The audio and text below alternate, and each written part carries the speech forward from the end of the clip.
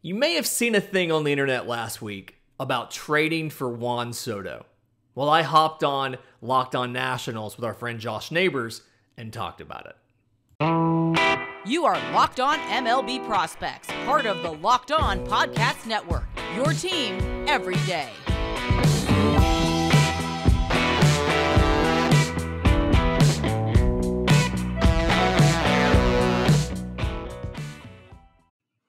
It is a crossover edition of Locked On MLB Prospects and Locked On Nationals. I am Josh Neighbors, the host of Locked On Nationals. Joining me, it's Lindsey Crosby, the host of Locked On MLB Prospects. Lindsey, it's been a minute. You and I have not talked since, I guess we're trying to clear things up with the, The CBA. the CBA, right? And we're playing baseball. Uh, the Nationals are playing baseball. They're not playing it very well, which has which has the reason why you and I are talking. Um, so there was a piece last week, and I've mentioned this a bunch of my show. People are probably tired of hearing it, but um, you know, of a, a Juan Soto trade movement, maybe Buster Olney had an article that was on ESPN Plus. Important to note, it was on Plus. It was not like it was reporting or anything. But rival execs thought the Nats could be compelled to move Juan Soto, which you know, once again, take that with a grain of salt, folks. Yeah. But it got me thinking, like, okay, just first question, like, can you trade Juan Soto? Like, is he tradable? Is there a good enough package?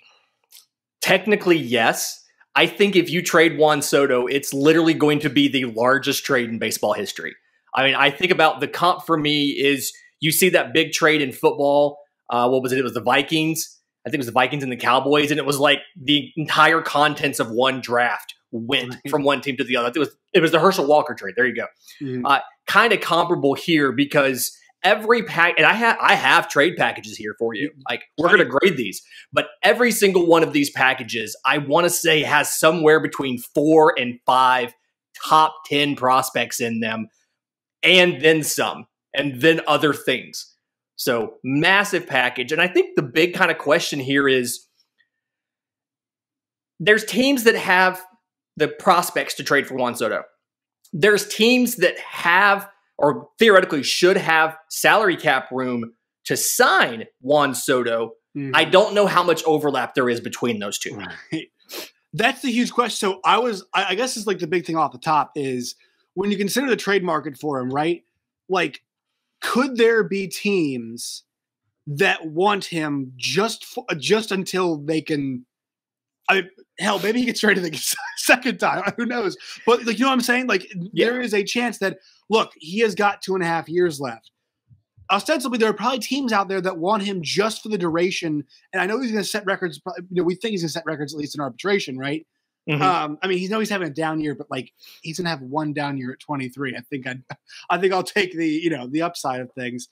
It are is there a group of teams out there you you could see maybe just going for that? Look, we'll take the two years and whatever titles we can get, we'll, we'll give up whatever we have to because it could maximize the window we have going. I think there's conversations about that, but my concern is Washington's going to want so much for him Yes. that it's not going to happen. So I think there's going to be a situation where a team's going to make an offer and in their mind they are discounting the offer a bit because they don't intend to sign him long term. But Washington in the end doesn't care what you do with Juan Soto. You got Juan Soto and the ability to sign him if you want to. So I see that there's going to be some teams who are going to make that kind of I say lowball offer. It's still going to have three top 10 prospects in it, but like they'll make a lowball offer because they don't intend to to sign him long term and the Nationals say no. And then when you're looking at what is it going to take to sign him? I mean, there's a chance he might be the first $500 million player in baseball history. So that's that's where this begins, right? That that's where this this starts, and and that's why the Nationals, if you trade him, you must trade him like you have to view it like we're giving you 15 years of Juan Soto, right? Yeah. 14 years. We're not. We're giving you a decade plus of A top most- five player. of yes of the most promising young player in baseball. That's what we're giving. Look, because he's he's better than Tatis. He's better Mhm. than Franco. Like he's just he is. He is better than those guys. I mean, he's having a bad year, and his, his OBP is like a 370. And I mean, he su- like for his standards, he sucks right now. Teams are still horrified of him. They're still Yeah. horrified, and they should be. Still won't pitch to? Juan Soto. Right. Like his, his career line right now 297, 428, 543, 106 home runs across 500 games, over 19 WAR in 500 games. Uh, runner up for Rookie of the Year. He's been a three time MVP finalist, a two time Silver Slugger, All Star for the first time last year. What took so long? Yeah, And it's like, and he's only 23. right. It's just, it's absurd. He's making somewhere around like 17 million this year, assuming what arbitration is going to be. You're going to assume probably 24 and 30 million in the next two years. And so if you look at the supposed Nationals uh, long term extension that they 18 years, 350 million. If you take out those arbitration years, that's a 10 year, $280 million deal. And like, he might get double that. It's just insane to me that, that this is even a thing, but Scott Boras is his agent. And so Right. you know Scott Boras is going to maximize the money you can get for Juan Soto. Yeah, it's the scary part, right? Is he's trying Mhm. to max. Now, I, you know, I've been, I've been trying to think like, is, is somebody going to pay half a million dollars for a single player? Half a billion. It, it's its head is half of a billion dollars. It's just it's it's an you know it, it's you know hey five like when you say five hundred million dollars it sounds different when you're like this is half of a B. Yeah. He can go and buy professional sports franchises. Yeah. Like like like you know more than one if he wanted to. With You want to own the entire NHL? You can do Right. that. you go and buy it. You can go and buy an entire division, Metropolitan, go to buy Metropolitan division, you know? And like that is that is what we have to think here. And you know, I, I'm I'm curious because the the other aspect of this we have to understand is the Nationals might be up for sale. So is the one kind of monkey wrench in all of this. We see this all the time in football, well, really in every single sport. Very, very seldom does one regime make decisions um, and then flip regimes, right? And this Yeah. is one where Mike Rizzo's in the last year of his contract, Dave Martinez, the manager, last year of his contract, and the owners might be interested in selling. So, like, all those signs point towards probably no. But hey, if the sale thing gets done, there could be there is a world where the sale gets done. The new owners say, you know, we like Mike Rizzo. He just won a championship recently. Like, you know, it's justify that. And then we the manager part. I'm actually not sure that matters as much. That's I, I know you're very well versed in that conversation. Hey, does the manager matter as much anymore in baseball? That's that's Yeah. a conversation for a different day. Yeah. But like, I think there is a world where actually that could get cleared up. You know, relatively soon. Mhm. And we are kind of okay. Now the question is, do you, do you resign or not? But the, the big thing for me is the Nationals have not taken their last bite at the apple. The idea that somehow they were like, all right, well, he turned down the first one. I, I guess we We're have done. him. It's like, yeah, we're done. Yeah. No, this guy is not just an, he's a financial asset. He put, I, I always Mm-hmm. say it, the two things, jerseys on backs, assets and seats. You know, Bryce was the same type of guy. Nats fans are familiar with him, but go Mhm. like I always do this thing, Lindsey, where I go to baseball games and you walk around the concourse, look down in the sections, see whose name is on the backs of jerseys. You go to Philly, a whole lot of Harper. If you go to Nats games, there's still a whole lot, lot of Harper. Harper. There's still a lot of Harper. Harper, Harper and Soto. Right, Yeah. Harper and Soto. So that he's such a valuable asset in that way too. Yeah. And and see, so I'm a, actually opposite of you. I think Okay. this is going to be figured out one way or the other before the sale is finalized. And if you Wow. think about it, if I'm an owner who is coming into the organization, I am spending over a billion dollars to buy this team because professional sports franchises, Right. Baseball and football, don't go for less than a billion dollars now. If I'm spending a billion dollars on this team, I want to know does that hmm. price include a long term Juan Soto deal or not? And so it might be something where when it's down to just a few groups left, still in the running, baseball kind of checks in with them and kind of finds out their temperature one way or the other because there's a big difference in me paying 1.2 billion and paying 1.7 billion if Juan Soto's not included. And I think the value of the franchise surprisingly goes down if there's not a Juan Soto. So if I'm if I'm buying the team, I want to know if he's there before I agree to a price. So you don't think the ability, because you know, I guess what I'm saying here is the autonomy to make the choice, right? Right. Like we're like the Lerner family saying, look, we're not going to make this choice for you. Now, I will say, you know, I don't think somebody's going to buy the team. I think you're right in this. Nobody's buying the team being like, well, we're going to trade him, right? Yeah. Like right. yeah, we're going to buy a team to trade Juan Soto. I don't think you buy it like that because the, the asset immediately loses value. So I think you're right Yeah. in that respect. I just think it it's if the family wants to get out, right? You'd think that maybe they aren't the ones setting the terms of that deal with the employee. That's Yeah. why that's the only reason I push back. But I would I would say, yeah, nobody wants to buy the one Soto-less Nationals, or Yeah. somebody does, but it's not really as good of a Yeah. you know, it's not really as good of a property, I guess you could say. And that and that may be something where once there's a, a price kind of agreed to, it's with the understanding, kind of quietly, not part of the deal that hey, this is the maximum that we're willing to, you know, once we have the team to do for Juan Soto, and that's all kind of worked out behind the scenes without us knowing about it.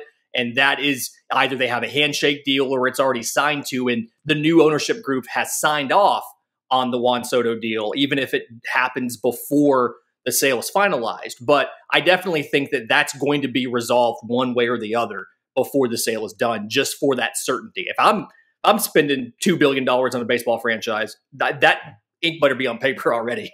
Yeah, So- that's that's totally fair. I, I bet some people are like that. That- And and look, yeah, those you know, that's just one extra layer those parties have to work with. You know, obviously the current ownership and the current management, and then you know, so, so there's a lot of con. It's it's very convoluted, but we are going to talk about this trade like it could happen, like we're good to go, like we could actually do it. Uh, first, quick word from our sponsors. Today's show is brought to you all by LinkedIn. It's spring. Uh, you guys know that because baseball's happening. It's time for renewal for growth personally and professionally as your small business grows. LinkedIn Jobs is here to make it easier to find the people you want to talk to faster and for free. Create a job post in minutes on LinkedIn to reach your network and beyond on the world's largest professional network of over 810 million people. That's well people. over half a half a billion like we were just talking about. Uh, you guys can go do that at LinkedIn Jobs. Helps you guys find the candidates you want to talk to faster. Every single week, nearly 40 million people uh, are on LinkedIn searching, trying to find jobs. Either way, it's a very good job market, and you guys can post your job for free at linkedin.com slash lockedonmlb. As linkedin.com slash lockedonmlb to post your job for free. Terms and conditions apply. Lindsey, is your LinkedIn game good? Mine's not. Mine's could be a lot better, I'll be honest.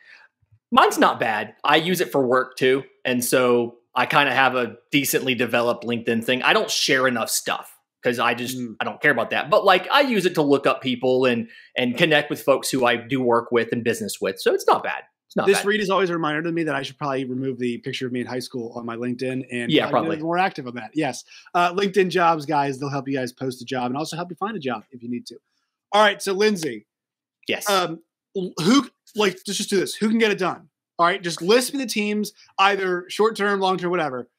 Right. Who could get try? Uh, not get this done. Who could try to get this done? Is probably the operative word. Try to get this Okay. So there's like the group that financially we know can do it, as in they don't have a ton of money committed in 2025. And then there's the teams that have the prospects. So like Yeah, just to know, he's under contract. He's in, he's excuse me, under contract. Yeah, yeah. He he this year, next year, the following year, he is in arbitration. So that just that going forward, two and a half Yeah. years right now. Yeah, he's technically not a free agent until that 2025. So you look at like money wise, there's some teams who are probably out, like the Phillies. You think of the Phillies as a team that spends a lot of money, but in 2025, they have over $105 million in salary already committed. And that's not counting guys eligible for arbitration and stuff. And that's just long term deals between Harper and Realmuto and Schwarber and Castellanos and all that. So they're probably out.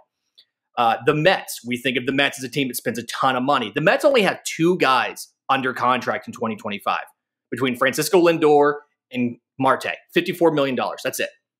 Uh, Dodgers don't have more than $70 million out. They have because they have Mookie Betts, Chris Taylor, and Freddie Freeman, and that's it. And I think we'll have a good idea about the Dodgers because Juan Soto's best friend is Trea Turner, who plays on the Dodgers and is a free agent after this season. I can see a scenario where Trea Turner talks to the Dodgers and finds out, hey, you're going to try to make a deal for Juan Soto. I'll resign. Let's bring Juan Soto. I'm going to go recruit him to come here. Um, there's some teams that like that are pretty obvious when you look at it. They're out. The Angels. They've got 105 million dollars committed. They've got Trout. I'd love to see Trout and Soto in the same outfield, but Rendon's owed 39 million dollars. They've got a couple other guys on the books right there. Probably can't do it. Red Sox, maybe they've got 40 million dollars if you don't count Xander Bogaerts. He's probably gonna, you know. Um, Padres, $80 million committed. They're probably not in. Um, one that a lot of people have talked about that I kind of like the Blue Jays.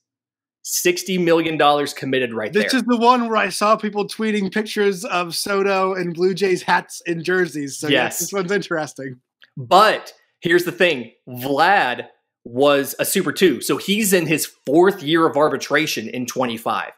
So I don't think you can do a long term deal for Vlad and Juan Soto. You got to do one or the other because I don't see the Blue Jays going over the luxury tax to bring these guys on. So interesting stuff there when it comes to to like money, but then the prospects. Uh, I've got some deals here. I want to go through some of these deals and get your live feedback as the Locked On Nationals guy. These are deals that either uh, Locked On hosts have sent us, or I've seen these floating around on the internet. I plugged them in. I've got the trade calculator values and everything. Um, so here we go. First one the Seattle Mariners, number two overall prospect, George Kirby, their number uh, pitcher. Their number three prospect, Noelvi Marte, shortstop. Pitcher Matt Brash, their number four overall prospect, and two MLB players, Kyle Lewis and Jarred Kelenic. So that comes out to in on MLB trade values to about 192 points of value. Juan Soto by himself is 206 points of value. So this is It's like this is three of their top four prospects, two major league players, and it's still not, none of these trades equal in value. Not a single one of these does on MLB trade values. right. So, but I think the deal breaker here is Julio Rodriguez. I mean, if I'm the Mariners, I'm not making this deal and getting rid of Julio Rodriguez because I want these two Dominican outfielders to play together for the next decade. And if I'm the Nationals, I'm not making this deal without getting Julio Rodriguez back. And I think that's probably, I, I think it's not going to happen because of that, but I want your thoughts. I, I just want to tell you, like, so there, whenever we see trades happen, Mhm. we always see, wow, team X kept player X, prospect X. Wow, Mackenzie Gore being the great example here, right? Like, I, I noticed the number of times I've seen, wow, Padres have kept Mackenzie Gore. Thank God they kept him. Um, it's gonna take the guy you didn't want to trade Oh, yeah. to get Juan Soto, right? And that's the big. And I understand And some. and some. And I, I think so.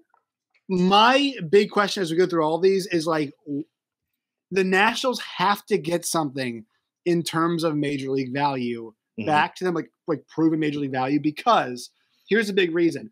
Uh, we're watching right now with the Nets. Like you need vets who are semi good, who have played the game to make sure the thing doesn't fall off the tracks. The young guys need to learn, and so that's why you Kyle Lewis, you know, Jarred Kelenic. Like, I got some concerns about Jarred Kelenic, right? And Yeah. it's not it's not going exactly to plan right now. It doesn't. It rarely does it, right? Rarely does it. Right. But like, it's not going swimmingly. I think you could say right now for Kelenic. Agreed. Yeah. Agreed. So that's a no. Okay. Yes, You mentioned MLB talent. I've got another one here. Um, and I actually took this is a crowdsourced one that has been sent to our Locked On Astros hosts. So their number one prospect, catcher Korey Lee, their number three prospect, right hand pitcher Hunter Brown, their number four prospect, outfielder shortstop Pedro Leon, MLBer Chas McCormick. That was the deal that was sent. And then I'm adding in outfielder Kyle Tucker and pitcher MLB pitcher Luis Garcia. So all of that together comes out to about 197 points of value. So all that for Juan Soto. I, I just I love Astros fans being like, how about Chas McCormick and then a couple prospect? No, No. no. Now I think Luis Garcia is interesting, right? Mhm. Um, am I am I crazy for thinking I want a young guy who might be kind of an all like all star ish in this trade? You're Am I- absolutely not crazy for I- that. I No. If you're giving up Juan Soto, you need Right, like so- an like- MLB All Star right now. right, so I, who like also might be around his age, right? Yeah. once again, like I, I think the trade has to entail the guy you don't want to give up who you haven't seen yet, and the guy you have seen you also don't Yeah. want to give up.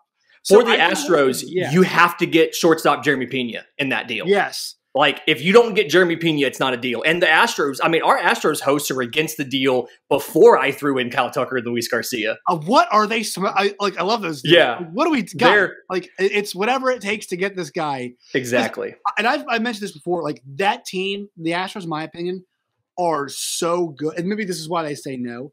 Mhm. They're so good. They've been so good at maintaining that window. Like I think maintenance has been the Astros' strength. They've done such Mm-hmm. a good job keeping this thing on the tracks, keeping it together. I mean, this is a good team even now. Drafting, developing. Yeah, all and, that. and look, it's it's you know I'm not even sure what iteration you'd you'd call this for them, but like Correa is you know I think was it Correa? Yeah, he was on the cover of Sports Illustrated, right? Yep. Yep. That's the guy who's on the cover. He's gone, right?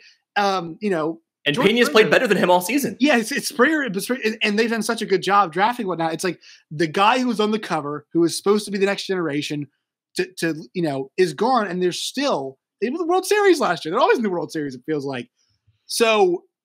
You know, maybe from the Astros, maybe they're right. Maybe maybe they're like, okay, maybe we don't we don't diverge from the course that has gotten us here because their their thing has always been quantity. That Mhm. is what the Astros to me has always offered is a lineup full of quantity, whether it be Altuve and Alvarez and Springer and Correa and Bregman. It's like they, you know all these guys who can just do a variety of things for you.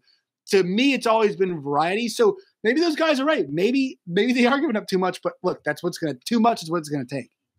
Talking about giving up too much, I've got one here for the Yankees that I'm not even kidding. It broke the trade value site when I So, tried to do it. so. Yankees people are the most texts I've gotten. I've gotten I've gotten friends Okay. and messages on Twitter. Yankees people are at me on this.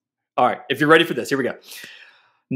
Number one prospect, shortstop Anthony Volpe, who I want to throw out, cannot hit a slider to save his life right now. Number two, shortstop Oswald Peraza. Number three, outfielder Everson Pereira. Number six, lefty Ken Waldichuk. Number eight, outfielder Jasson Dominguez. Five of the top 10. And MLBers Michael King and Gleyber Torres. That's a lot of middle infielders. it? That's a that's a lot of middle infielders. That's a lot of assets. It but- is. Put Juan Soto in that outfield with Judge. I, I mean, oh, you put him Oh in my that gosh. ballpark. You put him in that ballpark. It's Yeah, because here's here's the thing about him too. You know, you have to understand about like Juan Soto if you watch him. This guy does not discriminate uh, to where he hits the baseball. He is anywhere. at anywhere, and that ballpark usually favors anybody can hit it anywhere. Yeah. Uh, just because you know all fences are pretty usually pretty short there. So look, the, you know, the Yankees. I mean, this is the dream, right? This is the dream. Yeah. I I do think they might have the guys to make it happen. What I would say is maybe you replace one of the middle infielders Right. with a guy who's in the majors who's a good starting pitcher already. So I don't know what's the. I'm not sure what the contract situation with Luis Severino is at this point in time. Um, I'm not sure what his. I believe he's got. I want to say two years of team control left, maybe three. So that that's that's hundred percent. That's a guy I, I would change out one of the prospects for because the Nationals one thing the Nationals Just ask for him. Also, you can Right, do right. that. It's Juan right, Soto. Actually, tag him on there and Just tag on Severino in the end of that. Yeah, um, and I I think I think that would make I know I, I think that's the one thing here that best makes sense. Like that is so. When I mentioned last year with the Astros, Luis Garcia part of this, Yeah. right? Like I I he's good. He once again, he's guys you pitched in World Series games. I'd like to know he's a little bit better than he is right now. Severino, like I kind of know this guy can this guy can hang like big time hang. So maybe that's why I go that way, but that might just be the kind of more conservative mind that I have. I just think they have to get something that's upper tier, big league quality back, You're not wrong. Right? Because it's like we're giving these guy this guy for a decade, right? Or the, or the Yeah. chance to keep him for a decade. Severino should be in this thing too. So I think you're on the right track with this. If you just sub out one of those middle infielder guys, or or in addition, right? Like you 'em said, um, yeah, love it. Okay. Uh, last one for the uh, just Juan Soto trades because I've got some other stuff later. Um, and this is actually was suggested by Peter Pratt, our Locked On Marlins host. So MLBers Trevor Rogers, the right hand pitcher, and outfielder Jesus Sanchez with number two prospect, right hand pitcher Max Meyer, number three prospect, shortstop Khalil Watson, and number nine prospect, outfielder JJ Bleday. He said, That's it. That's the deal. Now, my proposal Trevor Rogers and Pablo Lopez. I love that. I mean, actually, Yeah. so out of all of them so far, this is the best one. And I don't think he's so I know this one in terms of the MLB trade values. This one's one of the lower ones. It's like 165 for the Nats. But yeah. to be honest, I I love this. I Mhm. love this trade. Now I know Meyer Marlins had to turn on a little bit. I know he's had some, you know, recently just some poor performances. Uh, but you know, look, this this stuff happens. It does. Yeah. You know, it happens all the time. We know this. With happens. with prospects, yeah. yes, it's it's it's volatile. Um, the Trevor Rogers, yes, that's a that's I, I think. Well, I think the reason why Nats fans, I think the reason I'm more apt to say yes, is I've seen him more often, right? Yeah. So I actually am a bit more apt to say yes. You chuck in Pablo Lopez, that's two guys there who address immediate needs. You plug them in immediately to the rotation. So I'm good. And they're pitching for a decade. and they're pitching for yes, and they're because they're both what Rogers is what twenty. They're I mean they're both twenty Yeah. five. They're in their 20s. Yeah, they're like they're, they're younger 20s. Um, Meyer, you know, could be a hit or miss. We'll see. But then you add uh, Khalil Watson. Here's the thing for me: they need to get a shortstop because they draft Brady House last year. He wants to so badly. You and I have talked this before. We he will have. not. He is not going to play shortstop. Nope. Not a I'm shortstop in MLB. Yeah, I'm sorry. We're not going to have Kevin Garnett playing shortstop. You're too tall. It's just not. We're not going to have that happen for you. you know, Is that why the Pirates haven't called up Oneil Cruz? Because he's Right. six seven? Well, darn it. Yeah, I know. You, you know, Jabari Smith for for your your, your Auburn. He's not playing shortstop there. You know, Yeah. that- that's not going to happen. So, but he's a good player. We know that already. Yeah. Um, I think he factors in much as as much as the third baseman. They need to figure out the shortstop thing. Um, Mm-hmm. They want to try Luis Garcia there. There, uh, there, Luis Garcia, Yeah. not the Ash. Multiple Luis Garcias. I think it ends up at shortstop. I, oh, excuse me, uh, second base. Excuse me, second base. I think that's if it does work out, that's where it ends up. Mhm. So, um, addressing like getting somebody who is a shortstop, shortstop, shortstop would be hundred and ten percent uh, an aim of this trade. I think this trade that you've mentioned addresses that as well. So Yeah. I love this one. I, I Yeah. out of all of them so far, this, This is your favorite? my- this one's my favorite. Yeah. yeah. Now, P- Peter Pratt sent this over with the caveat. He's like, the Marlins will never afford that contract, so it's not going to happen, but it would be nice.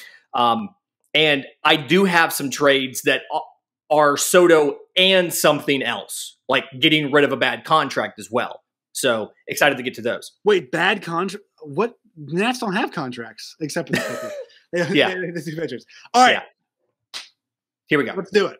Okay, so people are probably asking how come none of the, or going to ask how come none of these are getting rid of Stephen Strasburg? And the reason for that is he has a full no trade clause. So he is probably not leaving unless he wants to. So none of these proposals include getting rid of Strasburg, but Patrick Corbin's got 3 years, 83 million dollars left. So we're going to use some of these deals to get rid of him.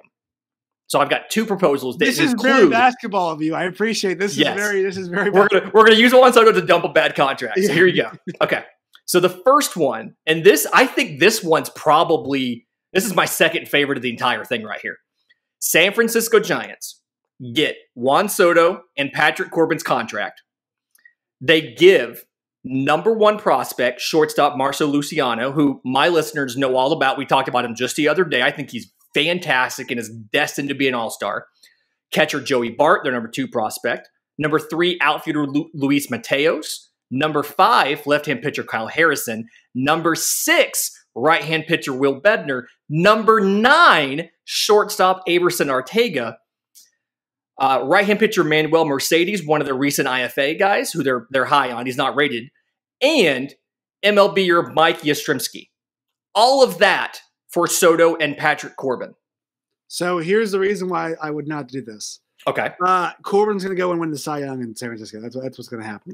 This, this, this trade, this trade, it's reeks reeks of a change of scenery to a good winning franchise where it's like, look who's back! It's Patrick Corbin, and we're like, oh my god, what just happened? And he seals the Cy Young with a perfect game in national yeah, state. Yeah, in Washington. yeah, right. His first game back in Washington since getting traded, he seals it with a perfect game where Juan Soto makes a diving catch to preserve it. I just see you just see it, you know, with the with the the cool summers, the the mist over the stadium.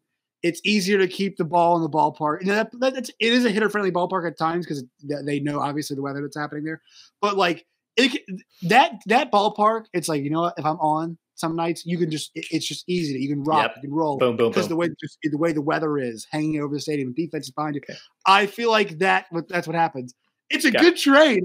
but It's a really good trade. but like you're horrified of trading Corbin to a good team because you're going to be like, oh man, he's pitching like the guy that we paid him to be. Yeah. Um, but no, Okay. that's that's a lot. That, you know, that's not a rational way to say no to the trade. That's it's- six top 10 prospects. Right, it's six top ten prospects, and also it's the Giants, so you kind of trust their their their now. They don't have bad prospects. Yeah. The Giants, the Giants do have a you know they're really good, but it's almost an Island of Misfit Toys type deal. So it's like you know, is it? It's a mixture of development. Also, it's like, oh my god, Darin Ruf's still in professional baseball. How is this still happening? And fantasy relevant. Like, how's it? Yeah. how is yeah. it still happening? So I like that deal. It's a it's a lot. It's, It's a lot. I'm horrified of the outcomes. It seems it, it sounds like three more World Series for the Giants. Yeah. Okay. like. Last deal, and this is the only team I believe, other than the Yankees, that was on both the financially may be able to do it and prospects have the guys to do it. And I this might be after the the I think it's after the Marlins deal. This might be my favorite one in here. Okay. Juan Soto, Will Harris, and Patrick Corbin go to Toronto. And in return, you get number one prospect catcher Gabriel Moreno because they have like two catchers right now. Number two shortstop Orelvis Martinez. Number three lefty Ricky Tiedemann. Number four third baseman Jordan Groshans. Number five right hand pitcher Nate Pearson and MLB player Cavan Biggio. So the the problem with this trade is that it's a catcher number one, and the Nationals they have their catcher. So They just- They just got a catcher. yeah, so Keibert Ruiz has been has been really good so far to start the season. He was in that uh the trade for Max Scherzer Mhm. and Trea Turner. So I think that's the reason why this one is probably a no. Um, but I think the Cavan Biggio thing obviously is very uh, you know, it's it's pretty Change the enticing. scenery guy to me. It's yeah, it's enticing to say yes to that, but I would say because their number one guy is a catcher, it, you know that's going to probably set you back unless you can add a, a couple more guys in the back end. Yeah, and value wise, this one actually comes out as one of the lower ones. It's like 139 for the Nationals and 200 for the Blue Jays Mm. because they they you you ding some. Patrick Corbin has a negative trade value because of that contract, but uh, Will Harris going back adds a little bit to it. Yeah, shocking. You ought to see what Strasburg's number is. Yeah, yeah. Strasburg's like negative You know, 100 something. Well, Corbin feels like untradeable. Strasburg's like untradeable. That's the, he is. You cannot get rid of him. If you Which don't know the Strasburg deal, people, five years left, 35 mil a year, and he has 80 million deferred um, 2027 through 2029 at 26.6 million per year for those three years and a full no trade clause. That's the Nat special. Is the deferred the deferred money? Scherzer's got deferred money. They had to push I- out because he was still playing. He's they're him until he's like seventy. Like his It's family has, you know, generate. Shout out to that guy. Like what? The, maybe uh, is he the best? You know, obviously the contract was one of the best, and that that's got a good one. But like, is is Max Scherzer the best player rep for a union ever? I mean, this guy has he's Made got tons of money. deferred money rolling. He Highest AAV. for and also set a standard for guys who are at a certain age, right? Still getting paid. Um, we had a video from the other day in the dugout with Eduardo Escobar congratulating him on the 10 years of service time. It's like this this guy, like talking about getting it, he just 110% gets it. So Max Scherzer, we all we'll no the, the Nats fans will always love him. So shout out to him for that. But I'm yes, a Braves fan and I love Max Scherzer. it's, it's hard not to. I mean, even though Yeah. it kicks your ass, it's really just hard not to love him. But I, I will say this: I, I think kind of my thought here is that look, you and I will have this conversation because we might as well do it. Right? You know, it was it was mentioned, so we might as well do it, and people are talking about it. Um, I think the most likely scenario is you and I are reconvening a year from now and saying, "All right, they've made second, they've made third, they got nose." it's what, not happening. Right. It, that that is that is the scenario where I think you and I are coming back together and talking about it. Or, you know, you and I are talking about, hey, is this is this the right contract? Is it worth it? Okay, that's what we do. I, I think next year is probably the time because that'll still be a year and a half of play left, right? You, mm-hmm. you know, it's almost kind of where Trea Turner was. The Nationals traded him, and so I, I think that's that's the most likely scenario. What do you think is kind of the most likely with this? I think it's that as well. I think it's something where the new, you know, the the sale process, uh, you know, it's it's it's either resolved and they say we're going to try to sign him, or they realize he's not going to re-sign with us no matter what we do. We'll go ahead and buy the team, knowing we're going to have to move him. And so, probably a year from now, it just it's something where, and I I apologize to Nats fans listening. You need something to put butts in seats right now. And that's what Juan Soto is that right now. They're not coming to see Nelson Cruz. They're not coming to see Josh Bell. They're coming to see Juan Soto. So he's putting butts in seats. From a business perspective, you can't move on from that this early. You have to give it a couple more tries. Um, probably towards the end of the season, probably the start of spring training next year. You hear about the second offer, the third offer, and then around the trade deadline next year, you get a report. Well, uh, Juan Soto might be available and six teams all rush to go put out offers and we're having this exact same pod but with actual offers that people have actually given versus what i have found on twitter and the internet this has been great though it's been really fun uh, Lindsey, where can people find you and your work and all of its variety? So I'm on Twitter at Crosby Baseball. My show, Locked On MLB Prospects, is on Twitter at Locked On Farm. You can get it wherever you get podcasts and YouTube. Where can my listeners find you? Find me on Twitter at Josh Neighbors underscore. Find the show wherever you get your podcast. And you guys can find us on YouTube as well. Lindsey, it was a pleasure, man. Thank you so much. Thank you.